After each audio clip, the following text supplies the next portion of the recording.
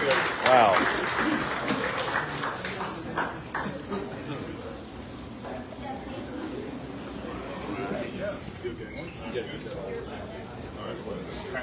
We got more handouts. You gonna do it? What kind It of doesn't matter. I can do it. You can moves do it. Whatever.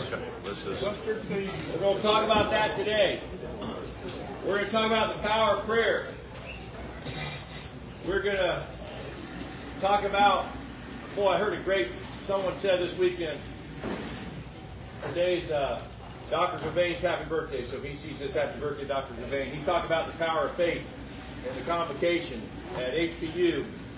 And he said, uh, a great crowd showed up outside in a large farming community, and they all showed up to pray for rain, to call upon the Lord for rain. But only one person, one little fella, brought an umbrella. and Doc said, that is faith, right? And then there's prayer, and then there's Leonard Ravenhill. Don't read his book, Why Revival Tarries, before going to bed. It'll wreck your night's sleep. He says these words No man is greater than his prayer life. The pastor who is not praying is playing. The people who are not praying are straying. The pulpit can be a shop window to display one's talents. The prayer closet allows no showing off. Poverty is the stri- poverty stricken as the church is today in many things. She is most stricken here in the place of prayer. We have many organizers, but few agonizers. We have many players and payers, but few prayers. Many singers, few clingers. Lots of pastors, few wrestlers. Many fears, few tears. Much fashion, little passion. Many interferers, few intercessors. Many riders, but few fighters. Failing here, we fail everywhere. Now, why do I read a quote about prayer to start us off? Because prayer is inextricably connected to faith. And we're going to talk about that. We're going to let Jesus share with us about the power of prayer and moving mountains. And here's another uh, million dollar word we all love forgiveness. And maybe our prayer that before anyone walks out the door, and I may not put sentries at the door, I'll think about that. We want you to think and be right, reconciled with whoever you have odds with, or whoever you are at fault with, in the power of forgiveness. It can only come from Almighty God, from the gospel. So, we are in Mark chapter 11, and we are going to read these verses of Scripture together out loud. And we'll start verse 821. I want to welcome my buddy Matthew. Good to have you here, man. Best pest. Need some pesky pest put away from your home. Talk to this guy. He can take care of it. Best pest control. And we're going to give him some red raspberry preserves. How about that right there? Let's welcome Matthew. First rider. David Jeremiah devotional. Christian radio card. Right. Telling you. Telling you. All right, everyone read these verses with me out loud together. Mark 11, 20 through 26. Now in the morning, And they passed by they saw the fig tree dried up from the roots. Peter, remembering him, said to him, Rabbi, look, tree which you have cursed is withered away. So Jesus answered and said to them, Have faith in God. For surely I say to you, whoever says to the mountain, Be removed and be cast into the sea, and does not doubt in his heart, but believes that those things he says will be done, he will have whatever he says. Therefore I say to you, whatever you ask when you pray, believe that you receive them, and you will have them. Whenever you stand praying, if you have anything against anyone, forgive him, that your Father in heaven may also forgive you your trespasses. But if you do not forgive, neither will your Father in heaven forgive your trespasses. This is God's word. The grass withers and the flower fades, but the word of our Lord endures forever. So why did Jesus curse the tree and cleanse the temple? This happened last week in our study. He comes in the great triumphal entry, the great coronation. Hosanna, which means in Hebrew, save us now. Blessed is he who comes in the name of the Lord. And we know from Psalm 118 that this is the exact moment in history that that famous verse, 118.24, is meant to be stated and prayed and sung and proclaimed. Say it with me. This is the day the Lord has made. let, us rejoice and be glad in it. in it. Now say it every day. Say it often. Say it much. Say it about the day that he came in and saved this rotten soul and brought this dead heart to life. That's what I'll say this is the day. But it was the day the King came in, the Lord Jesus Christ. So last week he came to town. He cursed the fig tree. Why did he do that? Who remembers? Oh, because you had no food off of it, and he There's was no- hungry, and man is there. He saw the lush leaves. But he got closer and there's no fruit. So he saw the the pomp and pomposity of the beautiful facade of religion. But he got closer, there's no fruit, there's no life, there's no sustaining nourishment from that tree. So he cursed it. He said, Let no one ever eat from you again. Then he goes down into the temple. And he saw the same pomp, and he saw the same regalia and religious stuff, and all the ornate decorum, and all the priests and their dress, and their, the, you know, the sacrifices, and all the temple and the gold and everything that Herod had restored Solomon's temple. And he saw no fruit, and his heart broke. Zeal for his father's house consumed him, as we're told in John 2, quoting the Old Testament. And what did he do? He cleaned house the meek and mild son of David, seed of David, the one who will reign on the throne of David forever. He started overturning tables. He got violent. And we saw a fire. And he said, Do not turn. This is a house of prayer. Don't turn it into a den of thieves. Don't, don't merchandise off my father's house. And so Righteous indignation. That's very good. There's a place for that. And maybe we need a little bit more of that. And so here we have Christ coming back into town. Look what it says. Now in the morning, verse 20. As they pass by. Man, so many things happen as they pass by. All these miracles happen just on the road, right? Here comes somebody. And a miracle now that is canonized in eternity happens. And people will see in heaven because they were just on the road, along the way, you know? Who knows who God will put along your road? As you pass by today, who knows who God will put in your path for you to share Jesus with? I know there's testimonies. I know there's testimonies on your way here this morning. Interruptions, divine interruptions, right?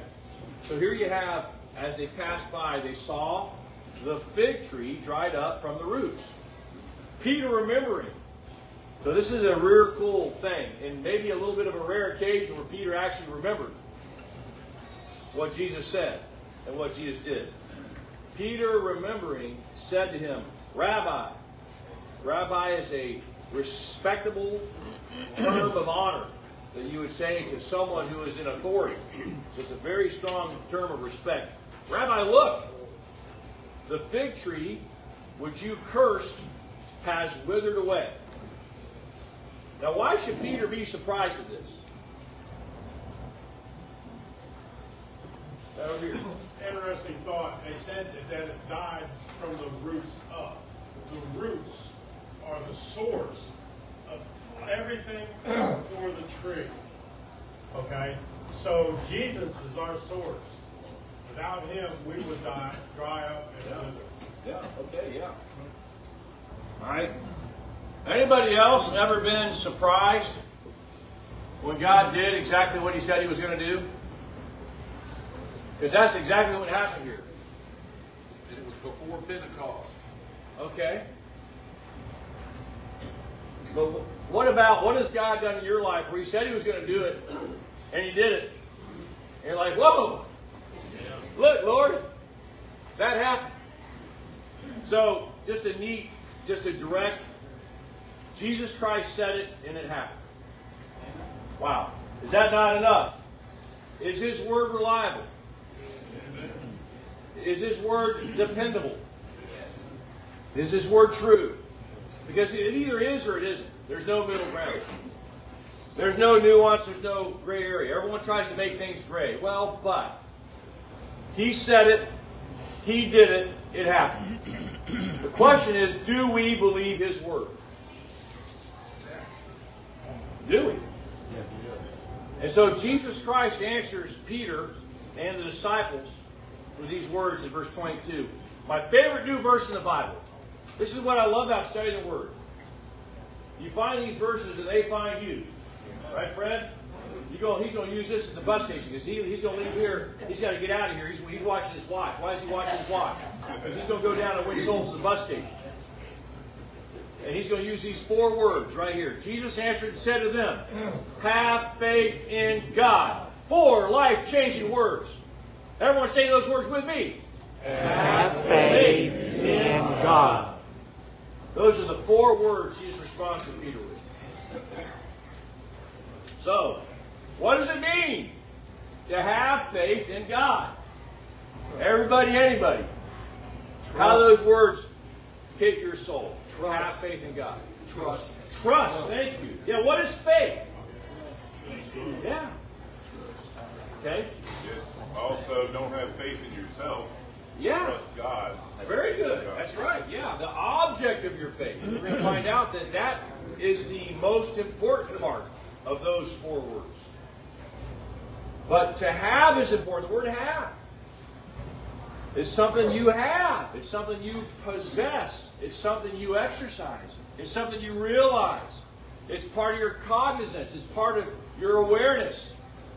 It's central to this whole word here. Ralph's got something.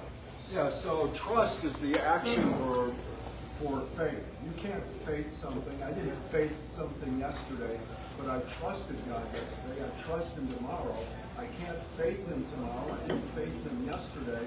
So trust is the action for for faith.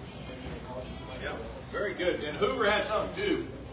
I was gonna say, I was just thinking about this this morning, is that, and you just gave an example how people who went and faced the rain, I would say, did they bring their umbrella?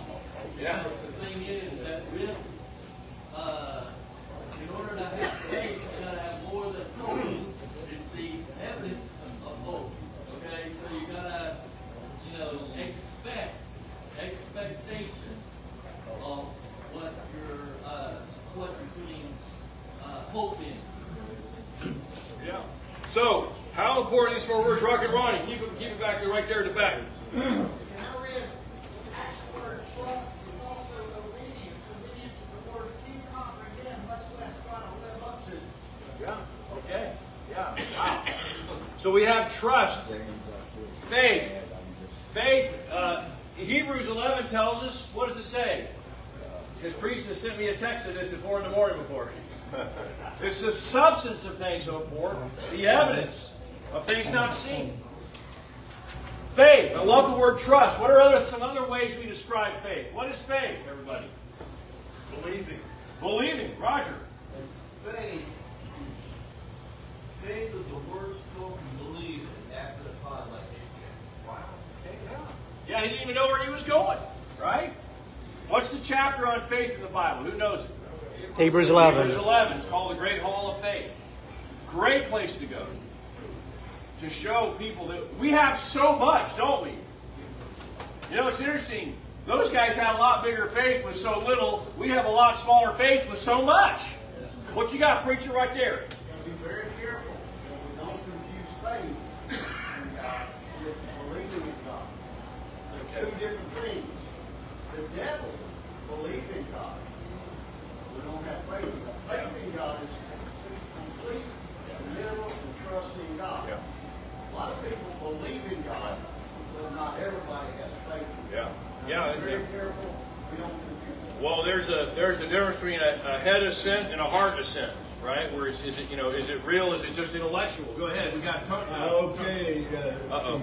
Ezekiel He's so stirred up. says, says, uh, faith is the hope of substance seen and the evidence Yeah. of the things not seen. That's right. Yeah, Hebrews 11. He goes on to say, without faith, say if you know it, it is impossible To please God. to God. please God.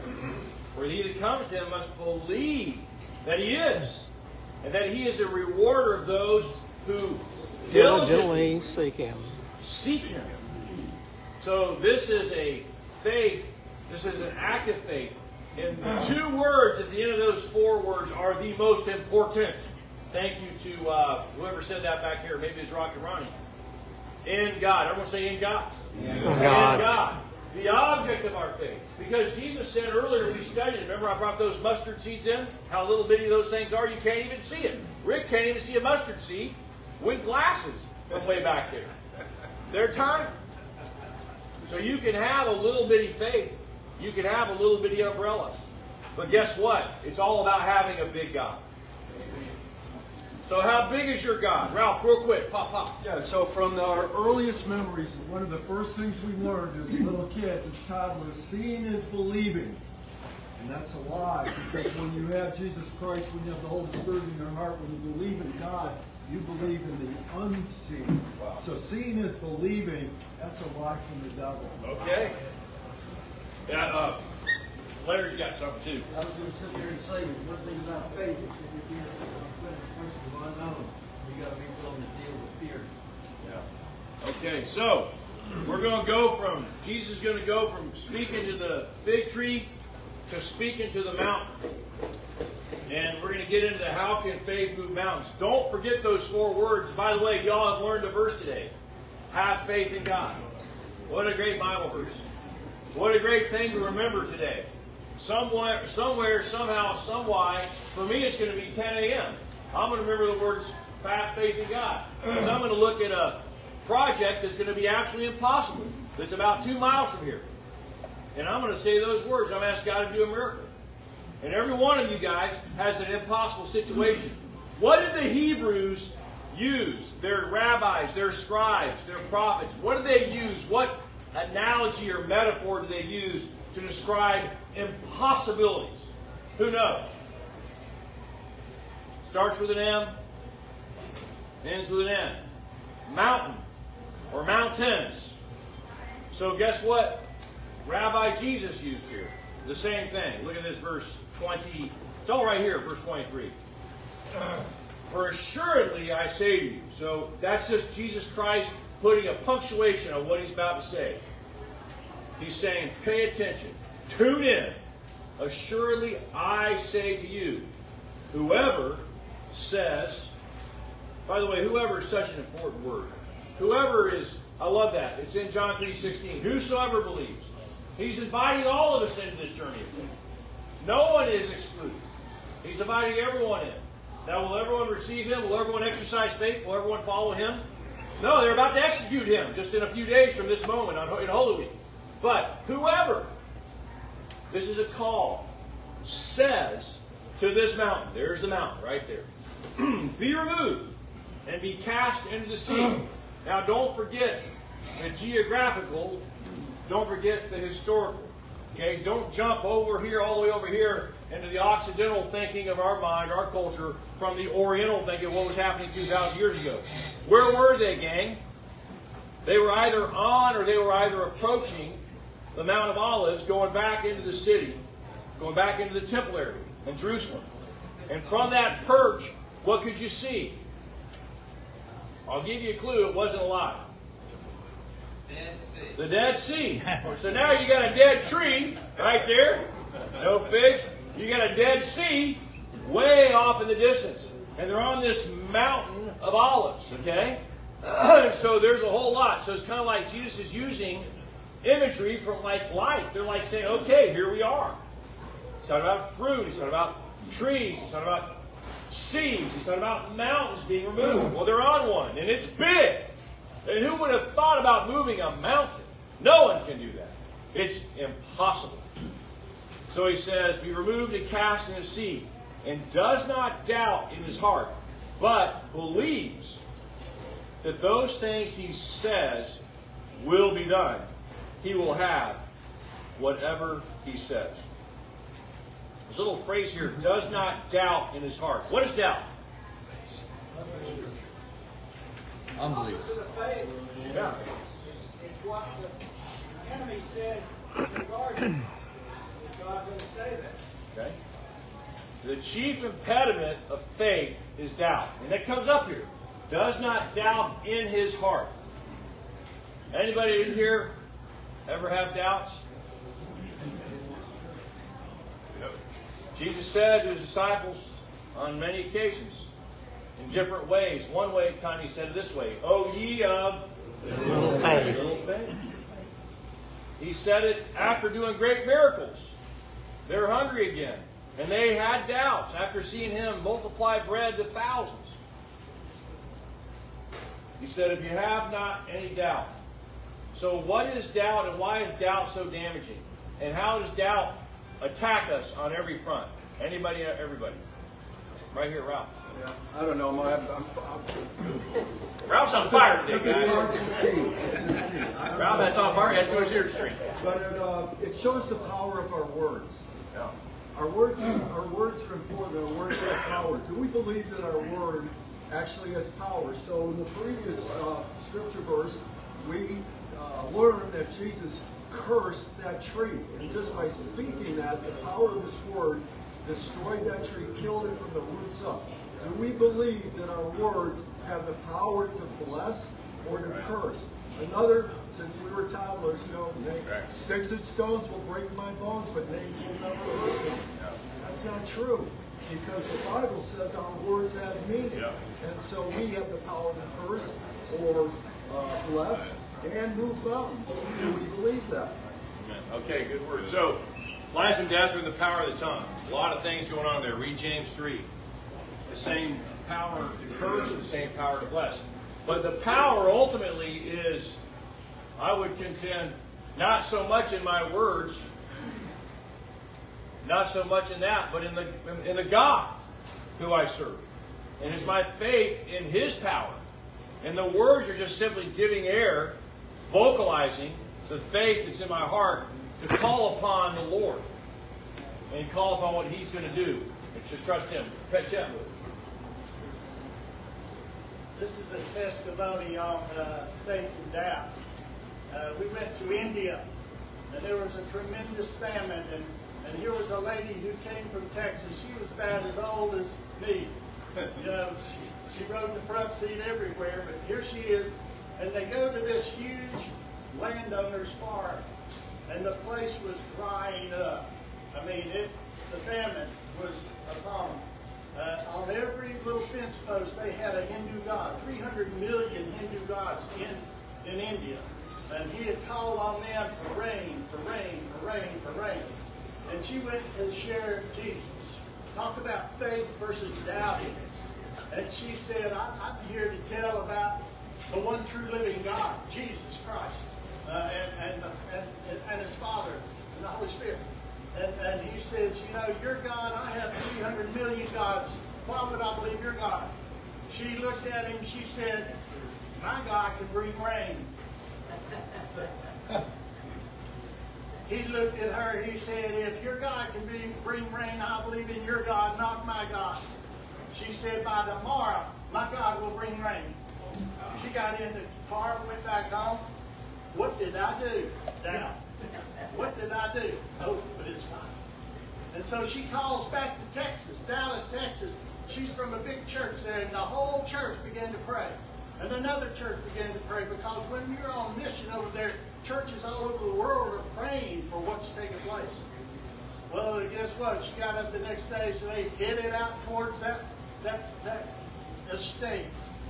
And on the way, here's a little cloud. Here's a big cloud. And it began to pour. It was a gully wash. she got out of that car, she walked up to that guy, and she said, My God. My God. And he prayed to receive Jesus and all his family.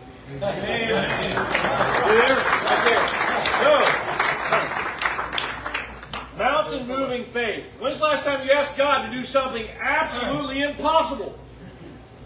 When's the last time you asked God to do something absolutely impossible today? Because we can go back and we can look in the rearview mirror, which, by the way, last time I checked, that rearview mirror is a lot smaller than that windshield. So, what else? Tell me what mountains are in your life. I'm talking impossibilities. This person, I could never be reconciled with this person. This person will never trust Christ as their Savior. This country will never turn back to God. Kaleem's got something right here. What are mountains? Say it out loud. What are your mountains in your life right now? Actual mountain that there, I think uh, Cairo, Egypt, uh, like 120 years ago. And as you know, the Christians were crushed under, under you know, Islamic rule there. And they asked uh, the Pasha, you know, the ruler at that time, to the church, he said, no, that mountain moves. It's in the Tata desert. have seen that. And it said that this mountain moves. We're gonna let you build that church. How about that? And the next morning when you woke up, you know, that mountain had moved. How about that? And he said, okay, go ahead. Go ahead, build a mountain, build that church from that mountain. And it's one big rock. So they dug fourteen thousand seats church, and it's still there.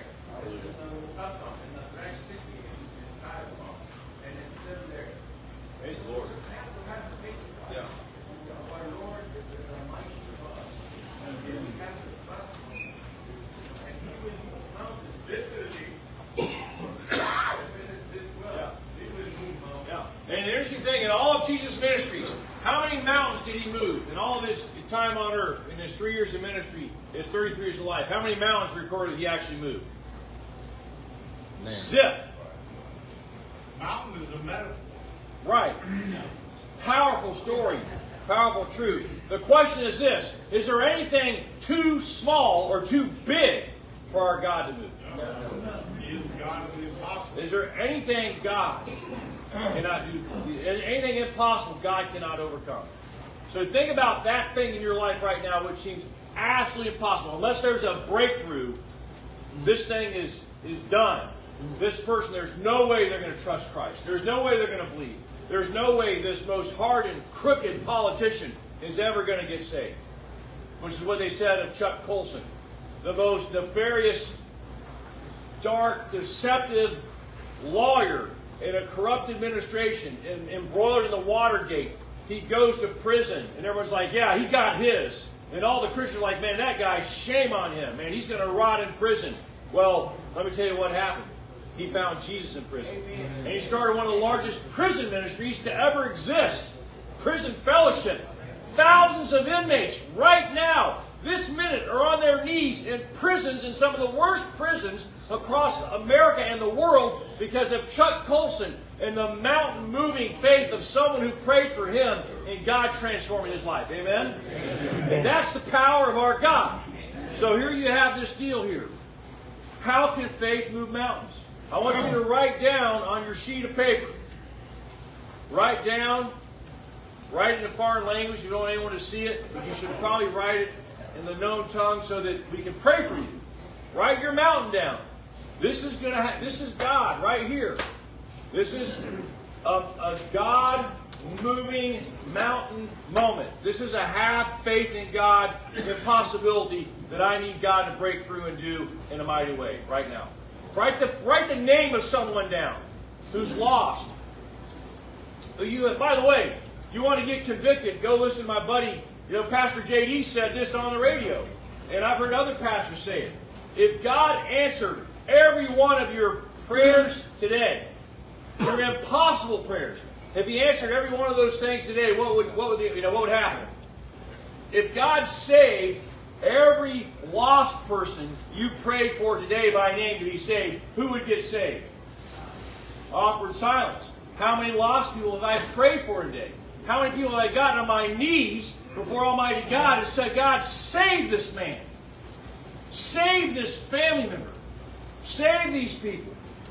David Livingstone said, God, give me Africa. David Livingstone died, how did he die? On his knees, praying for Africa.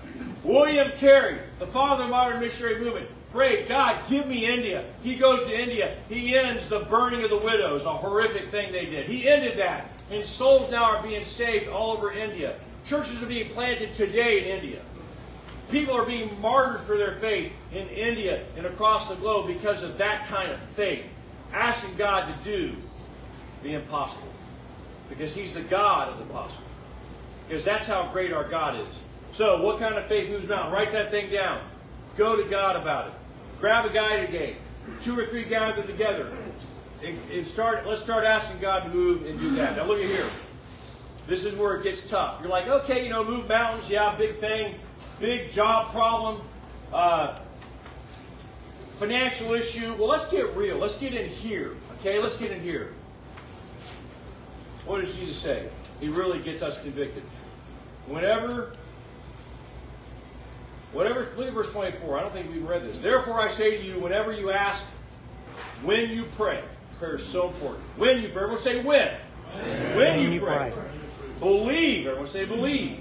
Believe. That you receive them and you will have them. This is prayer that's expected. Everyone say expectant.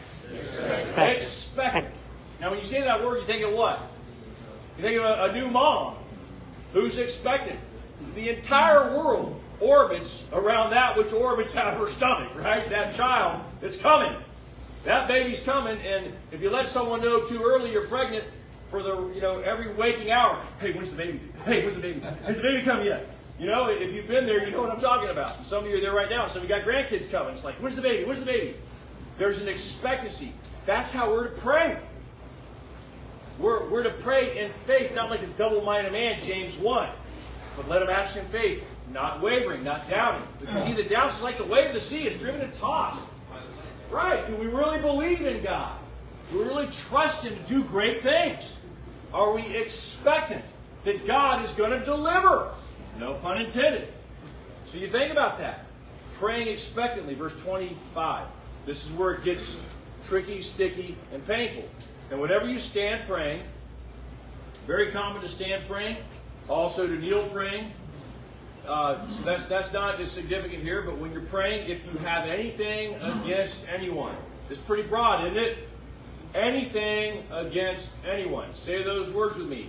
Anything, against, anyone. Forgive him, that your Father in heaven may also forgive your trespasses. So I put the question here. Why is forgiveness, which literally that word forgiveness in the Greek simply means to give grace, to give something that's not deserved. Forgive. Why is forgiveness so important and so connected to prayer? The heart should be right. Okay, getting the heart right. Very good. Anyone else? To be like God. Okay. Okay, yeah, because God forgives. Am I like Him? Go. The first mention of forgiveness in the Bible is Joseph. Mm. Okay? God blessed Joseph immensely because even before he met his brothers and family, he already forgave them. And that's the power of forgiveness. Yeah. Okay. Forgiveness. Uh, gross close. Scripture in Psalms says, I have cherished sin in my heart. Wow. Yeah. The Lord would not have listened. Now, for a couple verses earlier, it's a major impediment to our prayers. Go, speak. It said, Lord, teach us to pray. He told him in the prayer, forgive us our trespasses as we forgive those who trespass against us. Pretty good example. Yeah, okay. Very good. Jesus made it really easy, by the way, and, and he made it really easy, but he made it really hard. Because we're now we're opening up a whole lot of stuff here. Because there's some pain right now in this room. And there's someone you won't even look in the eye, you won't even talk to. And the thought of that person coming into your mind right now really annoys you, irritates you. I don't want to deal with that. Okay? So forgiveness is inextricably connected to fellowship with God.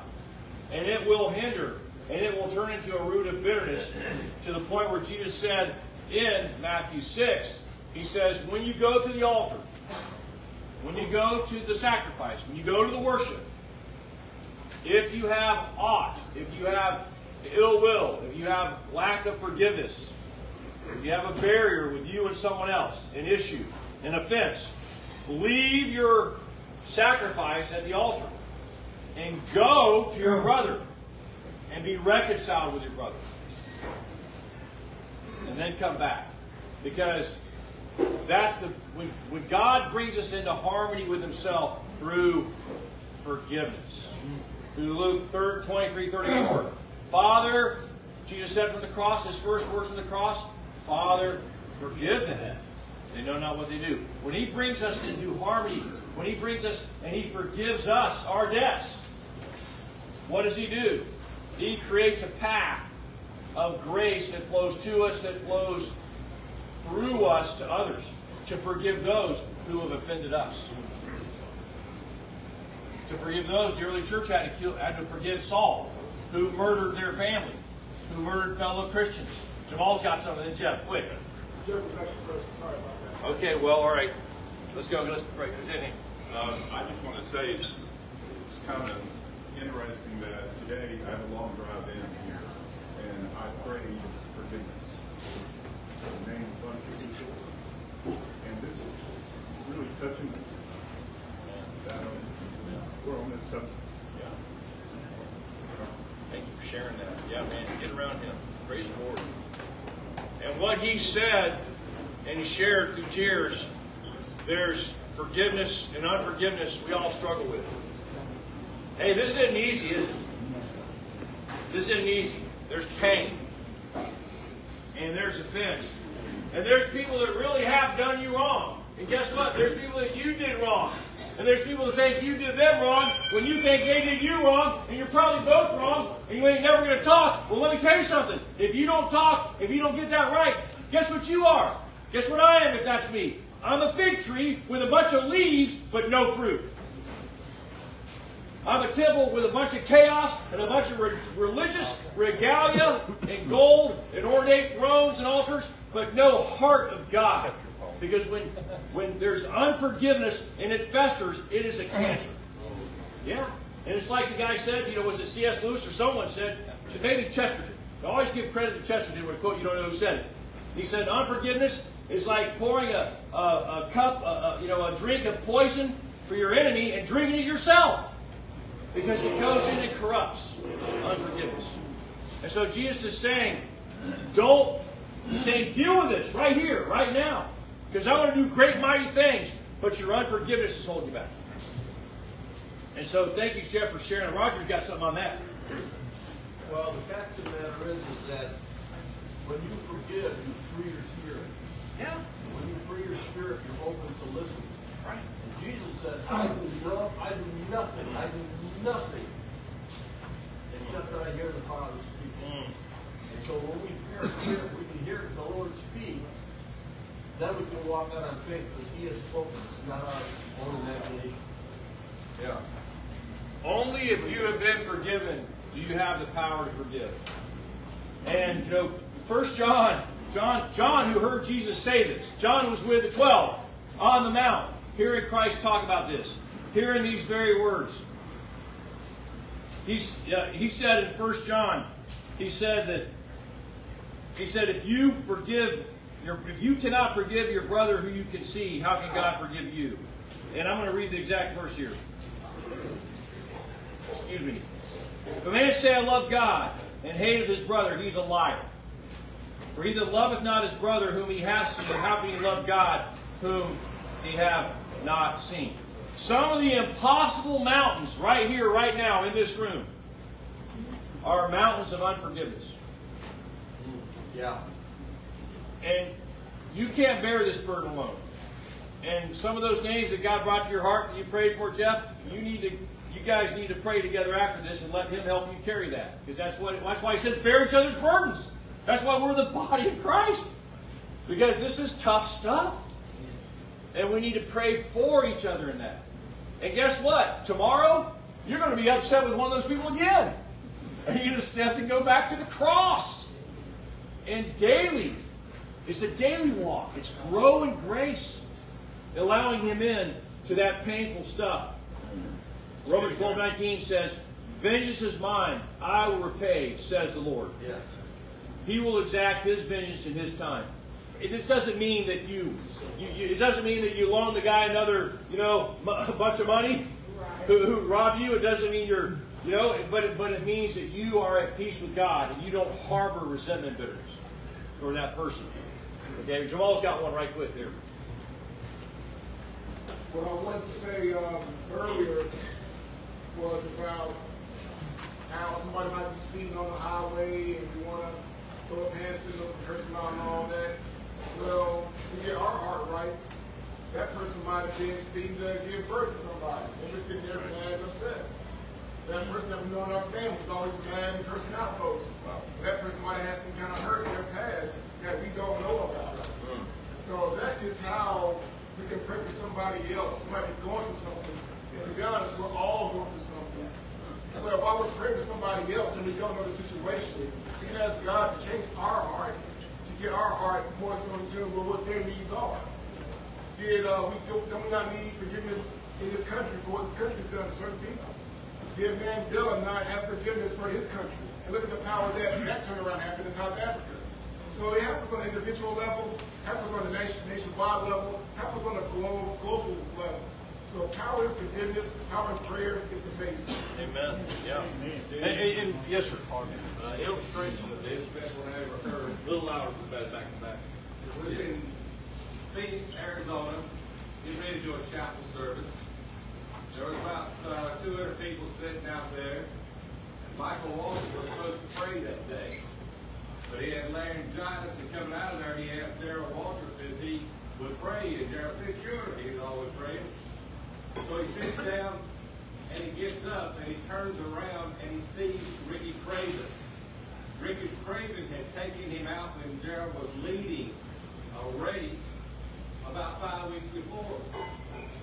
Two weeks before that, Darrell was leading a race, and Craven took him out a second time. Mm-hmm. Max Helton, the chaplain, went up in the holler with Darrell and said, hit me. And Darrell said, I'm not going to hit you, I'm going to hit Craven. he said, he said, no, hit me, it'll ruin your testimony, no. So he didn't do that, but they never talked about it. And so Darrell is sitting there. Ricky is sitting on the front row with his wife and kids. And Darrell comes up there and turns around and he sees Ricky. And he pauses. Pauses a long time. And he calls Ricky up there beside him. And says, I have all against you. I haven't called you. I hate you for the last five weeks. I want you to forgive me. And then he prayed.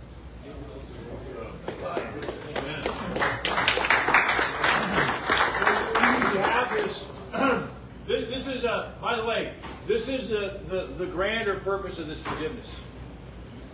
Because what that does, that unlocks the gospel to go out to people. Because all I'm doing, hey, I'm a forgiven one, inviting others into the forgiveness of God. That's all a believer is. He forgave me. That's why we have 532 of Ephesians. Be kind one to another, tenderhearted, forgiving one another, even as God in Christ has forgiven you. The gospel comes and forgives. Believers, true Christians, that have the leaves and the fruit coming out are forgiven. And then we are in the beautiful, in the glorious privilege of inviting others in the forgiveness of God. No matter how bad you've screwed up, no matter who you've messed up or gotten under or wrecked, or, you know, wrecked, or your life is a train wreck, God can forgive you. God can heal you. God can do what Isaiah said. Though your sins be as scarlet, they can be white as snow. Herb's got something on that too. I got a quotation. Never be afraid to apologize. Remember, there was only one in the world who was perfect. Yeah, very good. And that follows follow that up with a C.S. Lewis quote, one of my favorites. He said, "To be a Christian means to forgive the inexcusable, because God has forgiven the inexcusable in you." And so you have this whole idea of faith at the very end. You do not, but if you do not forgive, neither will your Father in heaven forgive your trespasses. So this is clear. This is critical. And this is difficult, and this is real, and this is messy. So, final question, guys. We are out of time. Everybody stand up. I've got a whole lot more, and we're, we're, we're coming back next week to the issue of authority. But here you have Jesus, guys. We, we have Jesus talking about the power of faith, the power of prayer. and you have these final questions. What miracle of forgiveness has God worked in you? Now think about that. Because when you start to think about that person you're having a hard time forgiving, think about the miracle of forgiveness. Why should God have forgiven you? Yeah. Save for his son. What did you deserve to have him forgive you? Death. But what are the implications of that? You were bound to hell, and God forgave you. Now you're bound to heaven. You were under the object of his wrath. Now you are under the absolute flow of his lavished on with his love and affection. Amen. That is the beauty of it. So, and then the, here's the final question. How are you believing God for the impossible? What are you trusting Him for? And it could be connected to that forgiveness thing because that is a very difficult area. And I put a bunch of verses here. Please go read these verses. But I love that question how big is your God? I love what Jerry Bridges said. You heard, heard this before. He said, he said, the smaller your God is, the bigger your problems are. Well, what's the converse? What's the opposite of that? The bigger your God is, the smaller your problems become. I love going to the Energized headquarters in Wallburg, North Carolina. Why do I like going in there and looking at that wall? What's on that wall, Joel? What's on that wall? Prayer wall, man. Prayer walls. All the stuff over the years that has been prayed there and answered.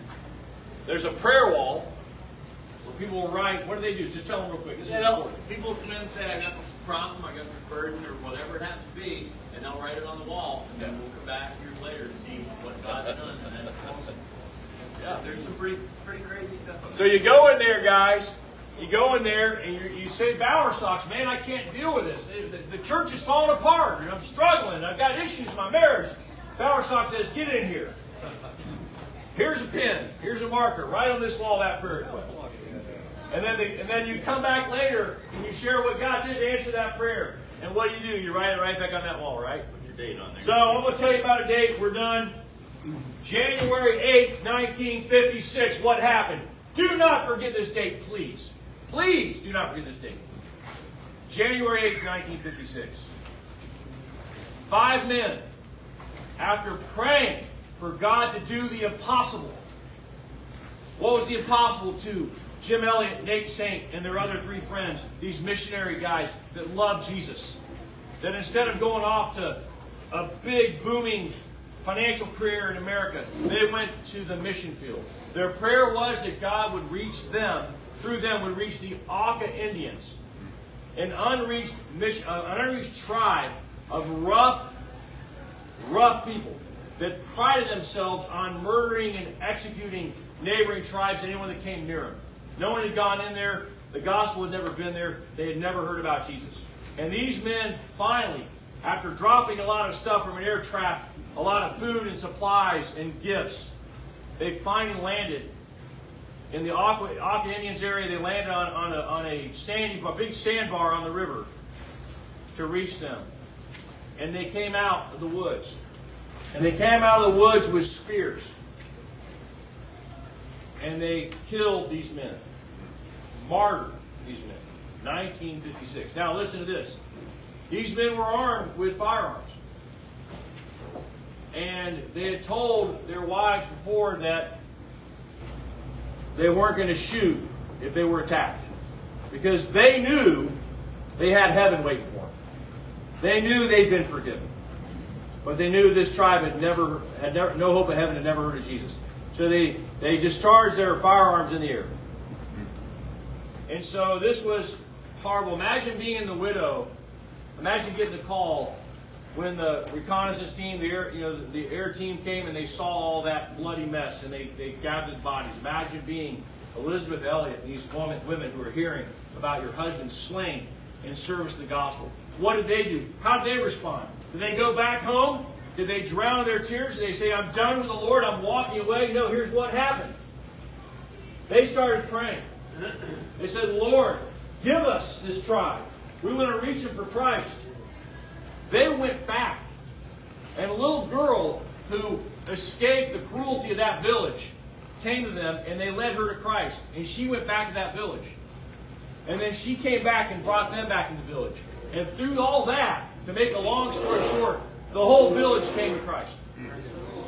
And the miracle is manifest and it's, it's demonstrated in a baptism. Because Kimo became the senior pastor. Little bitty Kimo. He became the senior pastor of the church that they planted.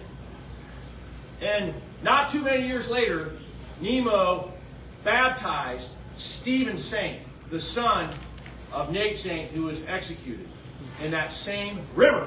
Yeah. He baptized him right there. And Kimo was one of the men with the spears who murdered those missionaries. That is the power of the gospel. To go out. And God wants to send every one of you out to spread this amazing news about a Savior who came and died for me.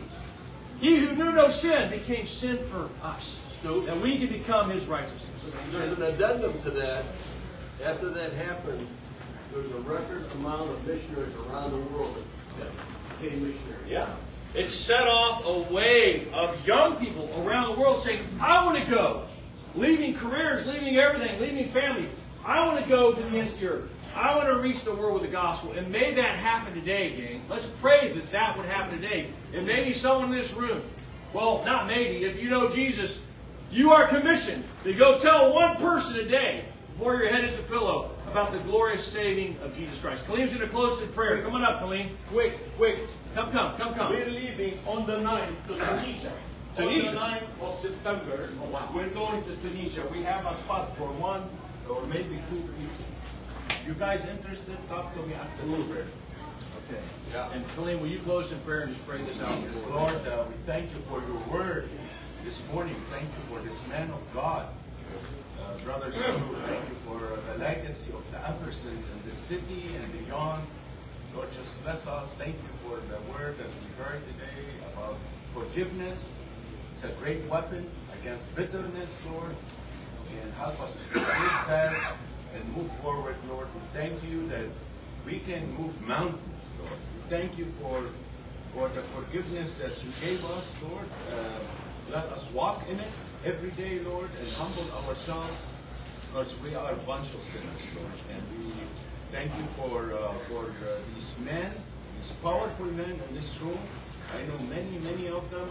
We thank you, Lord, for the city, Winston-Salem. No matter what happened, Lord, if we are, if we love you, God, if we walk with you, God, you're going to be with us, and we are able to move mountains, Lord. We pray for the political atmosphere and the division that we have in this country, Lord. We just, you are our King, and you are sovereign, and you love this country, the USA, Lord. We just ask you to protect this place, sprinkle the blood of Jesus in this place. We pray that in the mighty name of Jesus. Amen. Amen. Pray with one person before you leave. Thank you.